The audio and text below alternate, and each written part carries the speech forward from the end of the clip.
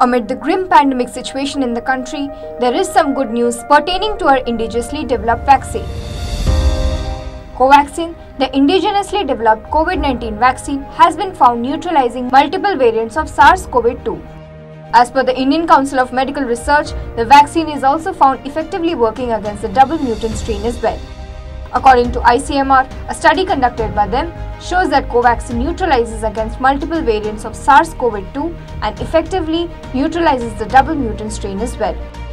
ICMR, National Institute of Virology, has successfully isolated and cultured multiple variants including the UK variant, Brazil variant and South Africa variant.